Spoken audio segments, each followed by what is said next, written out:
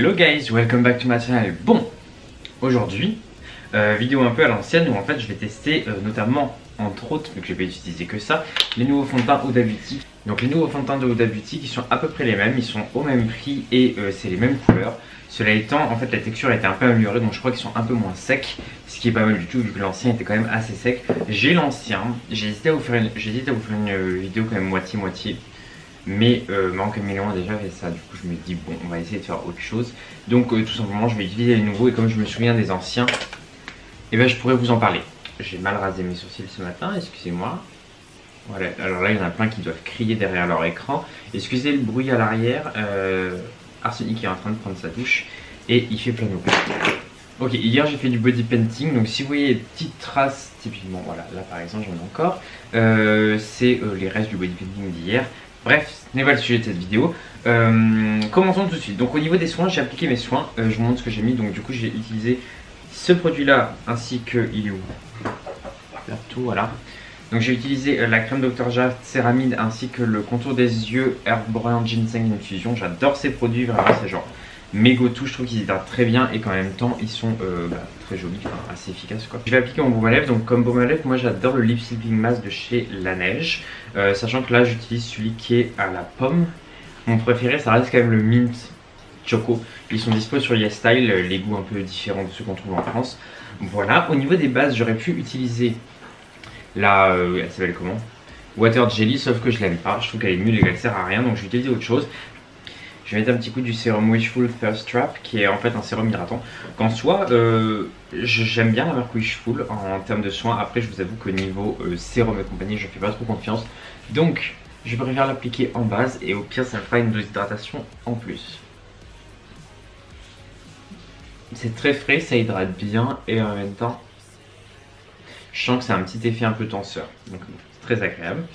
Au niveau des bases, je, vous vous souvenez dans ma vidéo, je crois 2020, favori 2020, je vous avais parlé de bases qui arrivaient et que je pouvais pas vous parler encore parce qu'elles n'étaient pas encore sorties. Et voilà, elles sont enfin là. Donc c'est une nouvelle base de chez Makeup Forever. Donc ces nouvelles bases, moi j'utilise mes deux préférées, c'est ces deux-là. Donc la violette, c'est ça, un Yellowness Neutralizer et la euh, Hydra Booster. J'aime aussi beaucoup la bleue et la lissante pour Minimizing. Mais euh, aujourd'hui, je vais plus utiliser la violette. en vrai, entre la bleue et la violette, je vois pas une grande différence. Disons qu'elles vont enlever un peu le teint jaune, donc elles vont faire un teint plus clair. Et moi, j'aime bien avoir un teint frais et teint clair, donc j'utilise souvent ça. Et pourquoi les Dark Booster? En fait, je trouve que les Dark Booster, c'est vraiment genre la meilleure. Elles, vraiment, genre, vous savez que les anciennes de Makeup Forever, j'étais pas ultra fan. Je trouvais qu'elles étaient un peu simples. Et en fait, celles-ci, là, les nouvelles sont vraiment, vraiment, vraiment géniales, vu qu'elles ont un côté, en fait, déjà la la hydratante classique, elle est un peu pêche. Elle est, en vrai, elle est transparente, mais elle est un peu pêche. Elle sent super bon, elle a une odeur un peu... Attendez, c'était quoi déjà? Thé vert? Matcha? Une odeur un peu fraîche comme ça et c'est vraiment très agréable. Donc moi, je mets moitié-moitié, moitié de la violette, moitié de la... Je mets moitié de la violette, moitié de la hydratante. Alors attendez, j'ai un petit cils, voilà.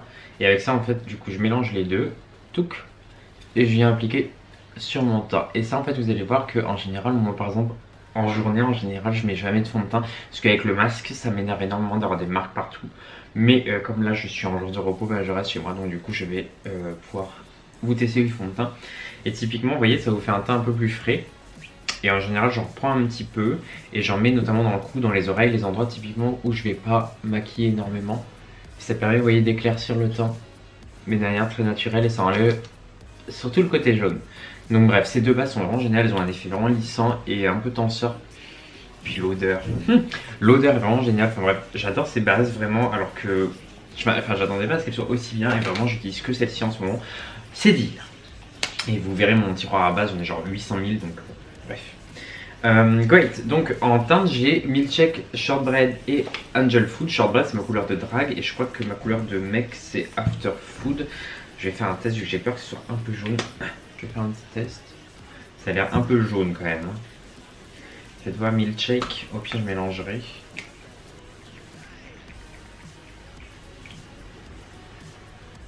Oula, milkshake il est blanc. D'accord, bon, euh, écoutez, je vais faire Angel Food je pense. Et au pire, je, bah, vais mélanger avec un peu de shortbread, hein, parce que j'ai peur que ce soit un peu trop clair quand même. Je vais mettre shortbread un peu sur les côtés et en bas du visage. Bref, on estompe tout ça. Et vraiment ce fond de teint, autant le, euh, celui d'avant j'ai mis moyen parce que vraiment je trouvais pas qu'il était sublime sur la peau, alors celui-là vraiment il a vraiment un plus joli fini. Il est, moi je trouve qu'il est quand même un peu moins couvrant. Après c'est peut-être juste moi qui débloque parce que j'ai eu personne dire qu'il était moins couvrant, mais je trouve qu'il est quand même un peu plus léger. Mais vous voyez la différence, vraiment il est, il est bien bien couvrant et je trouve qu'il a vraiment un beau fini genre sur la peau. Vous voyez même là où j'ai de la barre au final ça fait pas crunchy dégueulasse ce qui est plutôt agréable. D'ailleurs, j'ai refait ma couleur. Je suis vraiment content. Faut que je lisse un peu l'arrière parce que là, je trouve que. Je le ferai après. Je trouve c'est un peu bouclé à l'arrière, ça m'ennuie. Dites-moi, comme prochaine couleur, qu'est-ce que je fais? J'ai envie de foncer, de faire un peu un rouge foncé, euh, rouge foncé tout simplement. Je sais pas si c'est une bonne idée. Je sais que déjà, moi personnellement, je préférais quand même le blond, hein, mais c'est juste que comme je vais, je reviens un peu à ma couleur naturelle, faut que je fasse, que je m'amuse un petit peu avant de plus du tout avoir les cheveux blancs en dessous. Et ça couvre bien parce que vous voyez, j'ai pas mis de cache-barbe. Et honnêtement, ma barbe elle est pratiquement complètement cachée. Comment vous aimez le fond? Vous voyez, là j'ai mis un, LED bleu ciel. Je sais pas si ça se voit trop. Et je filme pratiquement qu'en lumière naturelle. Là, qui fait super beau aujourd'hui. Il a neigé hier. Bon, la neige, je pense, est déjà en train de fondre vu qu'il fait très beau aujourd'hui. Mais au moins, au moins j'ai une lumière vraiment assez basique. Voilà, du coup là je l'ai appliqué partout. Honnêtement, c'est super joli. Le fini est vraiment très très beau. Donc là, je vais utiliser mon anti-cerne. Euh, du coup, j'utilise un anti-cerne 34 ou 40, de Make Up Forever. Ça dépend vraiment de ce que je trouve en premier. Mais le 34, ça passe aussi. Euh, je, crois que je vous l'avais dit dans ma vidéo produit préféré de 2020. Et en fait, vous voyez, j'estompe juste sur le bleu. Ça va me permettre en fait de, corriger le, bah, le décerne tout simplement. Et ensuite de pouvoir mettre un anti-cerne très clair sans que ça fasse gris. Ce qui est quand même plutôt plaisant. Hop, hop, hop, hop, hop. Voilà. Et par-dessus, du coup, j'ai eu ce nouveau lanterne de chez Make Up Forever encore. Alors, cette vidéo n'est pas sponsorisée par qui que ce soit, mais bref, je vous avais jamais montré, du coup, je vous montre. C'est le Matte Velvet Skin 24 heures de euh, Make Up Forever. Et du coup, c'est un lanterne qui est très épais, mais qui est très courant aussi, et qui finalement, une fois estomper, n'est pas si épais que ça. Donc, il est très clair. Hein. Le 2.1, je suis content parce que pour une fois qu'ils font un lanterne vraiment, vraiment clair, c'est génial. Hop, un petit peu là. Et voilà, il n'y a pas besoin d'énormément de matière, j'ai quand même mis beaucoup. Hein.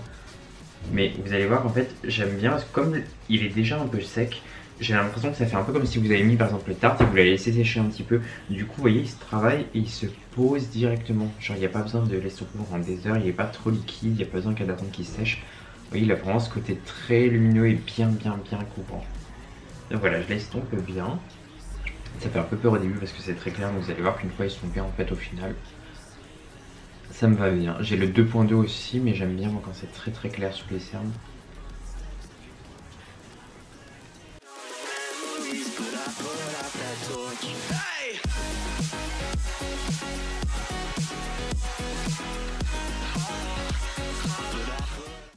Tout, plus de cernes du tout. Donc c'est très cool, moi j'aime beaucoup. Euh, du coup, maintenant je vais poudrer. Alors pour poudrer le contour des yeux, je vais faire comme d'habitude, c'est mon baking à la sugar cookie. Donc c'est la blanche. Et ensuite, je vais en utiliser une que j'ai jamais encore ouverte et jamais testée. C'est la cupcake, donc c'est la même mais en plus foncé, enfin pas blanc quoi. Ce qui est vraiment pas mal, je pense, pour le reste du temps. Parce que la sugar cookie par-dessus sur le temps, j'avoue que ça blanchit un peu, ce qui n'est pas l'idée quand même. Là, vous voyez, au moins ça reste lumineux. Et l'avantage, c'est que ça tiendra toute la journée.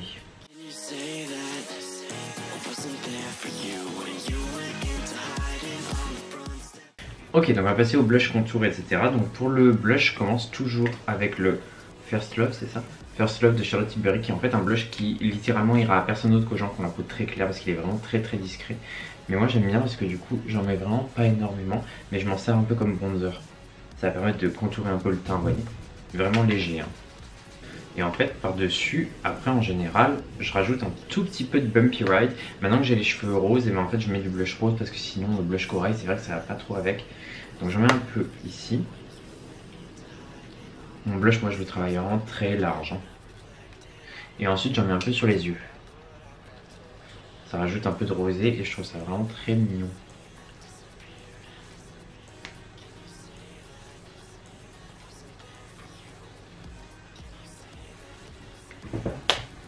Et voilà. Boum Donc euh, là, vous voyez, on a un teint qui est quand même vraiment pas mal. Euh, bien il tient bien toute la journée. Bon, avec le masque, rien ne tient, donc euh, tout est relatif. Je vais hydrater mon temps pour mettre de l'highlighter, donc je vais utiliser MAC Fix Plus en Awake. C'est En fait, j'en ai plein. J'en ai plein, genre des différents. Les petits, chacun a un nom différent. Donc là, c'est Awake. En fait, c'est l'odeur qui change. Donc là, c'est une odeur qui réveille un peu le matin. Ce qui n'est pas plus mal. J'avais oublié à quel point il est vraiment agréable et euh, il hydrate bien. Donc du coup, par exemple, on a le teint très mat. Vous voyez, là, ça va réhydrater, ça va redonner de la vie au teint. J'aime toujours énormément le Fenty Diamond Bomb, qui est vraiment génialissime, que j'utilise avec un petit pinceau Makeup Forever 140. Ok, donc je prends plein d'highlighter avec mon pinceau et on y va. On n'hésite pas, on met 3 tonnes. Plou, plou, plou, plou, plou. Et à la fin, de toute façon, il faut toujours en mettre au doigt parce que ce truc, il a quand même du mal à s'appliquer avec le pinceau. J'applique toujours avec le pinceau pour avoir un truc un peu homogène. Et ensuite au doigt sur les points de lumière plus intenses. Vous prenez au doigt, regardez. Je sais pas si vous voyez une différence, quand il y a beaucoup de lumière là, donc on voit moins bien. Ah si, là on voit. Regardez, de la glace. C'est impressionnant. Christophe est étonné. C'est impressionnant. J'en reviens pas, je, je me tiens parce que je vais tomber. Oui, tu fais bien. Je vais t'aveugler. Bref, du coup, je prends Anastasia Deep Brow Pomade en teinte Auburn, puisque maintenant que j'ai les cheveux roses, il faut un sous-ton rose aux sourcils. Là. Je prends sur un petit pinceau, j'estompe la matière, et ensuite avec un mouchoir, comme d'habitude, je passe histoire de presser, vous voyez, que ça fasse quelque chose de fin. Donc je dessine ma ligne du dessous en premier.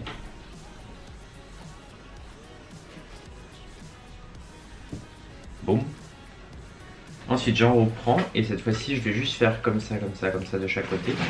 Et après vous voyez, en fait je vais pas le presser celui-là parce que le but ça va être de dessiner et de remplir en même temps.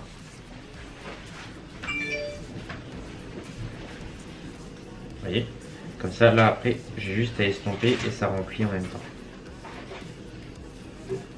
Puisqu'en gros, j'ai laissé de la matière sur, le, sur les tranches du pinceau. Voyez, on va juste relever un petit peu. On va rejoindre un petit peu le, haut, mais sans remplir vraiment entre les deux. Parce que là, en fait, on va dessiner des poils, donc le but, ça va pas être de remplir. Donc, regardez bien, on fait ça de haut en bas et non pas de bas en haut comme tout le monde fait. Puisque ça marche mieux dans ce sens-là, tout simplement.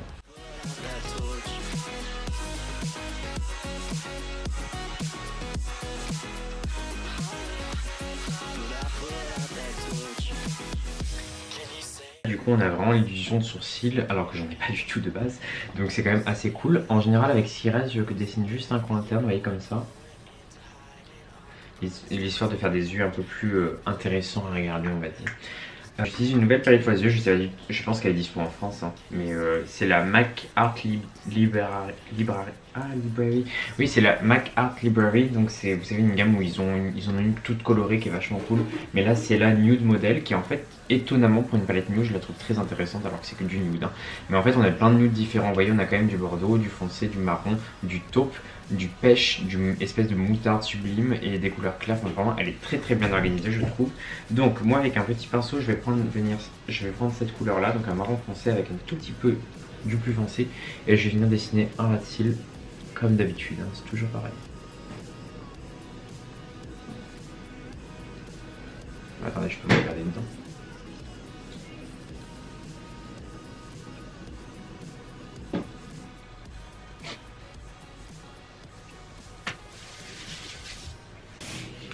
Du coup, euh, je vais venir prendre la couleur taupe ici en haut et je vais venir dessiner, vous voyez, mon creux ici.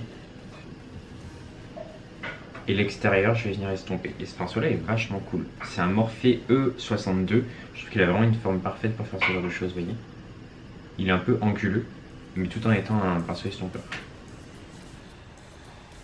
En général, je me recoupe les cils, mais la flemme, donc je vais utiliser le Benefit Zerial Tinted Primer qui est le seul primer, euh, enfin mascara que je mets parce que je trouve qu'il fait vraiment des cils très naturels tout en étant quand même beaucoup plus euh, défini.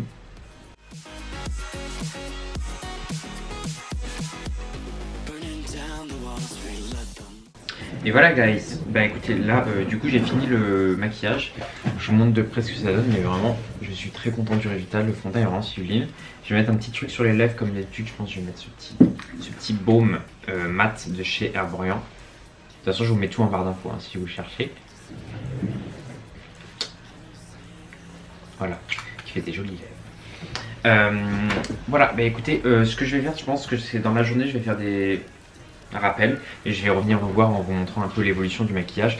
Quoi qu'il en soit euh, je sais pas si on va sortir peut-être qu'on va sortir tout à l'heure si on a le temps mais dans tous les cas en tout cas je reste normalement à la maison donc euh, bref je vous tiens au courant. Et voilà sinon en tout cas jusque là le nouveau fond de teint est vraiment génial. Ok guys bon là ça fait à peu près depuis 4 euh, heures que je l'ai le fond de teint écoutez tout va bien donc là j'ai mis le masque, donc on va voir comment ça évolue au fur et à mesure avec le masque. En espérant que je ne loupe pas mon bus. Bref. Euh, je vais chercher à manger vu qu'on meurt de faim et j'ai une amie qui est à la maison puisque Christophe lui fait ses cheveux donc du coup j'avais trop envie de manger à la cantine du Lotus je vous montrerai ce que c'est c'est un restaurant VG super bon voilà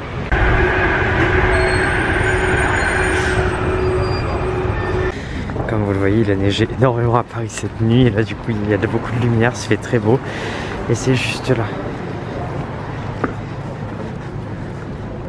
C'est vraiment un truc génial pour manger, je vais vous montrer tout de suite. Donc en fait tout est végétarien. Du coup tous les menus sont végétariens, je vous les mets juste ici les prix sont vraiment pas exorbitants. Moi je vous conseille beaucoup le poulet frit et le carré j'aime énormément mais sinon tout est vraiment très bon. Et c'est des gens géniaux qui font ça donc let's go.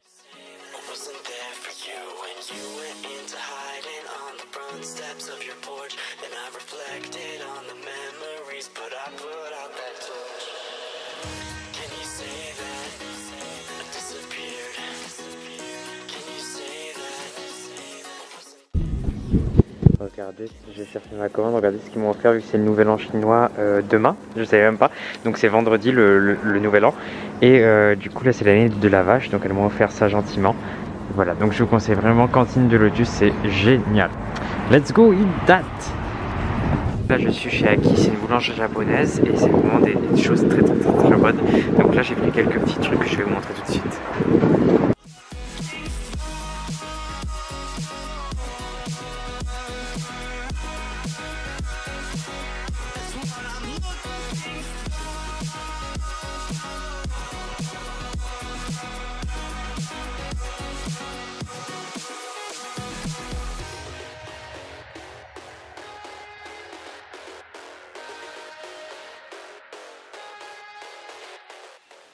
Voilà, donc j'ai pris ces trois petits pains fourrés à la chantilly, la crème pâtissière je pense et des fraises. Et j'ai pris également un gâteau à la fraise. Je vous montre ça quand j'arrive. On va bien manger.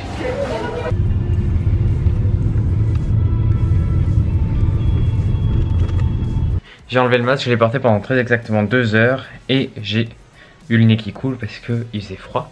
Honnêtement, à part sur le bout du nez, ce qui est réglable en littéralement deux secondes et demie, le reste n'a pas bougé donc c'est vraiment très cool. Ce fond de teint a l'air vraiment génial. Bon, on continue, je reviens ce soir. J'avais inversé les... Là, j'avais fait sur mon ordi. Bon voilà, on a fini de manger. C'était très bon, même si trop épicé pour certains. N'est-ce pas? Ah, Mais quoi qu'il en soit, en dessert, on a quelque chose d'une petite douceur. Donc c'est un espèce de pain, je pense qu'il y a de la crème pâtissière, de la chantilly et des fraises. Ça va être extrêmement bon.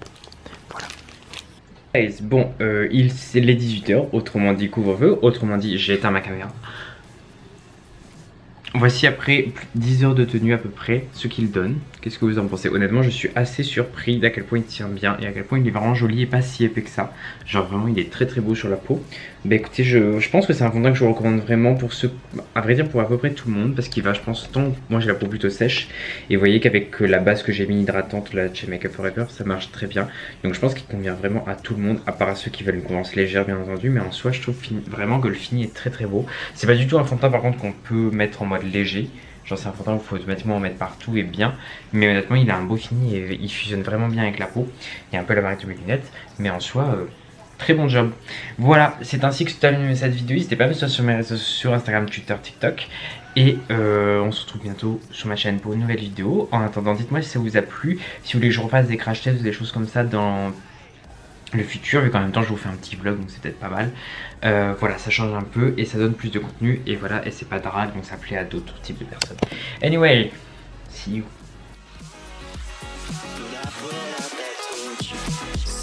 Can you tell me where you want to be in time? There's a million different places and a million different heights. I'll climb the tallest of the mountains, the highest place I find, so that I can.